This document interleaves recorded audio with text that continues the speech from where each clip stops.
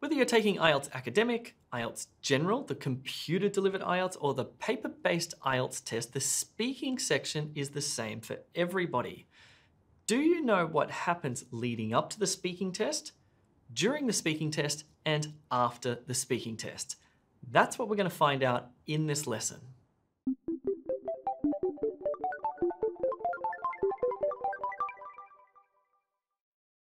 Now, I've taken the IELTS test five times for research purposes because I think every IELTS teacher should have taken the IELTS test, don't you? Now, leading up to the test, I got a little bit nervous. This is very normal. Let's talk about that. Before your speaking test. Okay, so I've got a few things to tell you about leading up to your speaking test so you can calm your nerves. First, you will be given a day and a time for your speaking test. Your speaking test will usually come after the other parts of the test, so make sure you give yourself plenty of time to get to the testing centre. Make sure you bring your ID, maybe it's your passport.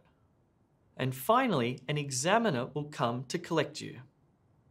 Okay, just a little tip here.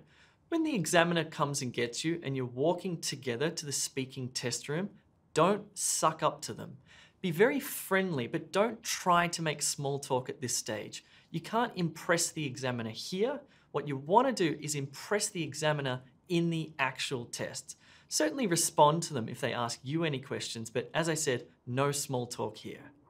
Okay, let's imagine now you're in the speaking test room. During your speaking test, at this point, when you're sitting down, the examiner will ask to see your passport and confirm some details with you. Then, part one of the speaking test will begin with some pretty straightforward questions that you can think of as small talk. Do you live in an apartment or a house? Are you a student or do you work? Part one of IELTS speaking will always start with these questions. Then, the questions will suddenly change direction and the examiner will say, let's talk about art, or let's talk about the rain, or let's talk about computers, or let's talk about any of these topics here. And then the examiner will ask you some pretty straightforward questions about one of those topics where you need to give your personal views and opinion. Now, if you want to learn all the best strategies for IELTS speaking and how to maximize your scores, then you need to watch the methods video lessons on E2 Test Prep, where an ex-IELTS examiner will take you through exactly how to tackle each of these questions. This is a great way to boost your scores and overcome your nervousness. Okay, so after small talk, part one, you will then do part two, two minute talk. After the small talk, the examiner will then hand you a piece of paper and a pen and give you a task card that looks like this. The task card will include a prompt, three dot points, and an additional sentence. You will have one minute to prepare to speak about the particular topic you are given. There are four main topic categories that you might have to speak about in IELTS Speaking Part 2. They include people, places, objects, or events. So out of those four large categories, you'll have to talk about a specific thing, a specific topic, such as a friend, a library, a gift, or a wedding. Or the task card you're given might ask you to speak on any of these topics. So after you've done your two minute amazing talk, the examiner might give you a couple of follow-up questions and after that, you're finished with part two, so you'll move on to part three, deep discussion. So in this part of the test, part three, you're going to have a dialogue with the examiner, a back and forth conversation. And the questions that the examiner will ask you will carry on from the task card that you looked at in part two.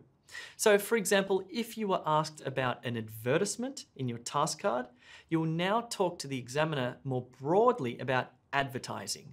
Or if in your task card you talked about a teacher, you will now talk more broadly about education. And this is where it gets a little bit more abstract. You might need to define something, or explain something, or argue for something, list something, classify something, compare and contrast something, or describe something. For example, the examiner might ask you, what is an advertisement? Why do you think advertising works? Do you think TV ads or internet ads are more effective? What types of advertisements are there? Are logos on clothes, such as a t-shirt, a form of advertising? How has advertising changed in the last few decades? What makes an effective advertisement? It's worth pointing out that in part three, you're not giving answers. There's no incorrect or correct answers. You're being graded on your language skills. So as soon as you finish part three, the examiner is actually going to give you your score. Let's talk about that in more detail. Scoring. IELTS speaking is not scored arbitrarily. That is, there is a certain way that IELTS examiners mark you and it's based on seven key factors. Fluency, coherence, vocabulary range, vocabulary precision, grammatical range, grammatical accuracy, and pronunciation. Number one, fluency. This means that you speak with little or no hesitation and very few ums or ahs. The words and the rules come to you effortlessly. And also, you speak at a moderate pace, not too fast, not too slow. Number two, coherence.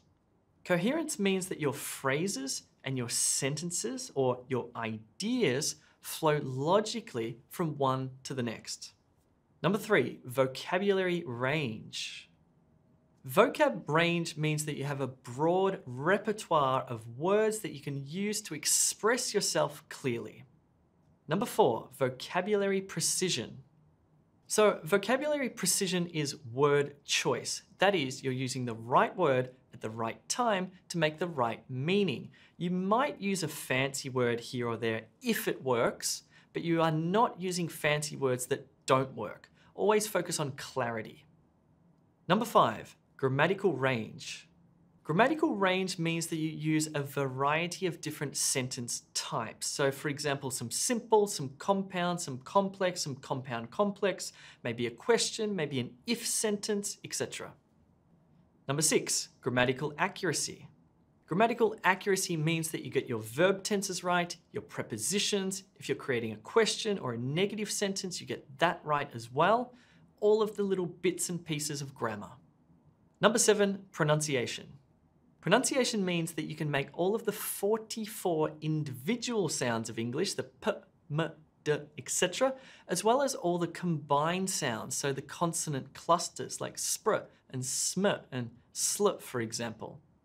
If you want to improve your pronunciation for your IELTS test, if you do sign up to E2 Test Prep, you can click this button here, which will take you across and give you a free account in E2 English where there's a great pronunciation improvement course.